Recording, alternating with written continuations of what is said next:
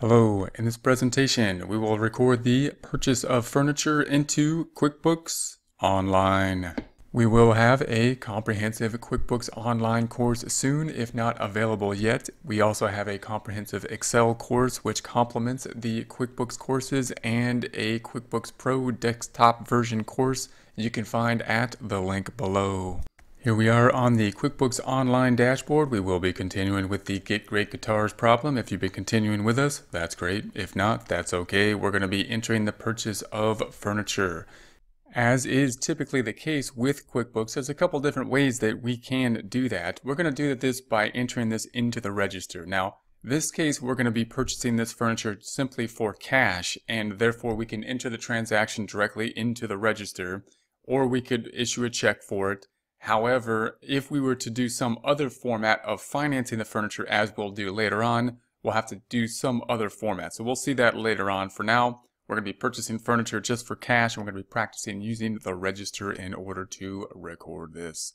So in order to do that, we're going to go to the accounting down here, left hand side, accounting.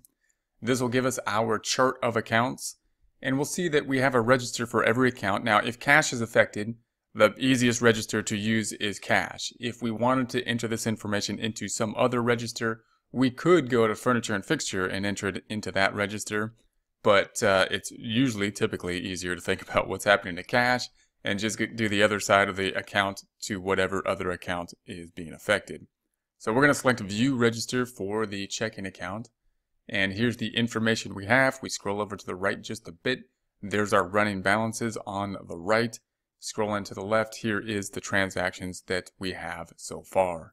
Within our check register, we have a few different options. If we select the drop down over here, we've got the check, the deposit, the sales receipt, uh, the bills, uh, receive payment, uh, refund, expense, transfer. In our case, we could use the expense item here, but we're going to say it has a check number, so we want to put the check number in it. So we're going to use the check item up here. So we're going to say the check and here is our check, and we're going to say the date of the check is 010921. Remember that we will be working in the month of January 2021. That's where we're going to be starting. We have to enter the check number because this is the first time we've had a check number. We're going to start off with 1002. From this point somewhere forward, it should populate for us within the check number here. Now we're going to say that the payee is going to be Office Depot and we have to add Office Depot. We don't have that yet, so it's going to say if I select tab or click here, if I select tab, it's going to say, do you want to add Office Depot? And we're going to say yes. It's going to be a vendor. That's just going to be the default. So it kind of just uh, guesses, typically guesses right, because we are here in the expense window. So QuickBooks is pretty good at that. If we choose the right category here, then of course, it can say, well, if you're buying something, we're probably going to be dealing with a vendor as opposed to a customer or employee. Uh, memo, we could put uh, a memo here. I'm not going to put one, but we could put uh, purchase furniture or something at that uh, memo section. And then we're going to say that the payment amount is, uh, let's see, 16,000 for our furniture and fixture. Tab to the deposit, no deposit because this is a payment. And then we're going to tab over to the other account that will be affected and it's going to be, if we select the drop down, it'll typically find the expense account because usually we would be entering an expense account. But we're really looking for an asset account. So I'm going to scroll down. We're looking for furniture and fixture. Here it is. Now, if we knew the account name already, then we would want to start typing it and it'll auto-populate the accounts that would fit what we are typing. And then we could select the account that we want. So it's going to be furniture and fixture. And we're saving that and the transaction has been saved. That is good. So if we take a look at all these transactions, then uh, scrolling to the outside, we see uh, the amounts here went from 140 down to 124. Now let's take a look at the reports and see what we have there. If we go to the reports on the left hand side, we look two of our main reports, the balance sheet and the profit and loss. We can go to the balance sheet and select the balance sheet. I'm going to run this for the month of January of the year we're working on. So 0101, 0101, uh, 212, 01, 31, 21. So there we have that, and we will run the report. Here is our balance sheet. So cash was affected. So if we select the cash account, then we can see that we have this furniture and fixture and it's a check. There's the check number. There's the split, uh, meaning the other account that will be affected. And if we check, if we click on that item, then we will see what actually happened. So here is our check. Gives us not the register, but the actual check. So if we entered it as a check, this is what it would look like. We entered it into the register, basically creating a check as we did so. And so we're going to close this back out and scroll back up to the top and go back to the report summary. Back to the report summary. All right, so there's going to be that side. Then the other side of this thing is going to be the furniture and fixture. Here's the furniture and fixture, 16,000. Once again, if we go back into that, we can see the check. Once again, same check.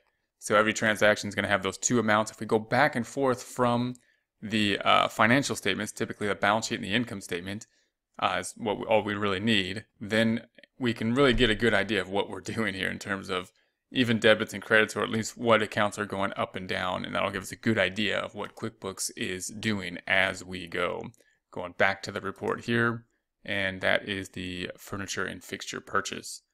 Now we're going to do this one more time. So we're going to go back to the accounts down here. We're going to enter one more piece of furniture from Amazon this time. We're going to go to accounting and we're going to go back to the register. So we're going into the register, click anywhere here or click on the register apparently. Click on the register.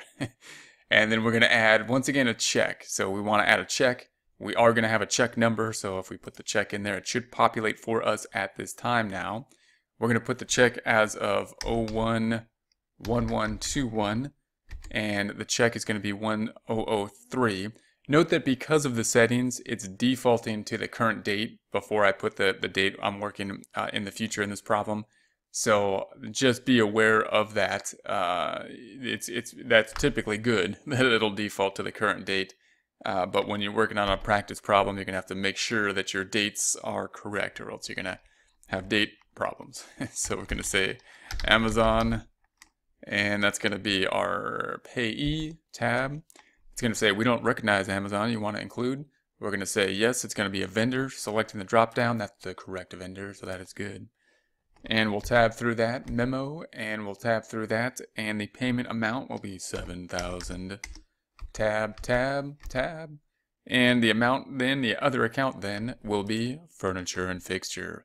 Again, if we select the drop down, it's going to go to the expense accounts, and if we scroll down through them, we will then find under the expense account the account we want, asset account, furniture and fixture. Selecting furniture and fixture, we want to make sure once we've got everything in there that we say save. If we don't say save, then it doesn't save it. So say save, and then we'll have it. So say save and we'll have it. And then we're going to go back to reports. Let's check this one more time. Go back to the balance sheets, all we really need. No income statement account affected. Note that when we purchase furniture and fixture, not an expense, even though we're paying cash in this case, not decreasing net income. Uh, so we're going to go, it will when we depreciate it, by the way. so then we're going to go to the balance sheet, balance sheet.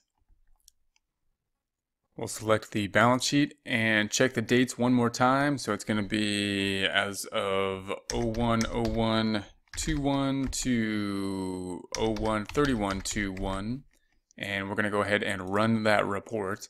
So there we have it. If we go into the checking account, so we'll select the checking account and here is our items here. So we've got the 16 there and the other happened on the 11th. So there's our two amounts there.